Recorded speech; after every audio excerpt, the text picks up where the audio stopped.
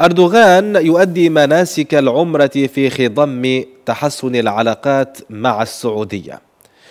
قام إذا الرئيس التركي رجب طيب أردوغان بأداء مناسك العمرة في المسجد الحرام في مكة المكرمة الجمعة بعد لقاءات مع قادة المملكة تهدف لإعادة إطلاق العلاقات المتوترة بين البلدين. في ثاني زيارة بل في ثاني أيام زيارته الأولى للسعودية منذ مقتل الصحفي خاشقجي في اسطنبول.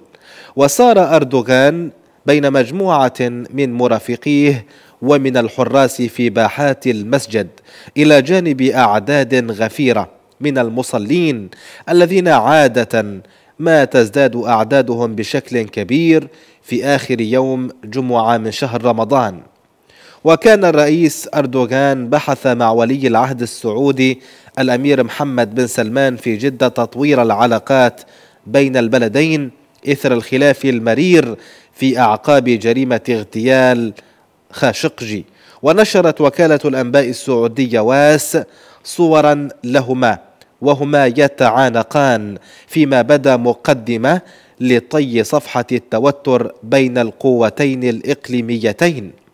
والتقى أردوغان الذي يسعى لتحسين علاقات بلاده مع القوى الإقليمية في خضم مصاعب اقتصادية جم التقى العاهل السعودي الملك سلمان بن عبد العزيز في مستهل زيارته الأولى للمملكة الثرية منذ عام 2017 ثم اجتمع بولي العهد.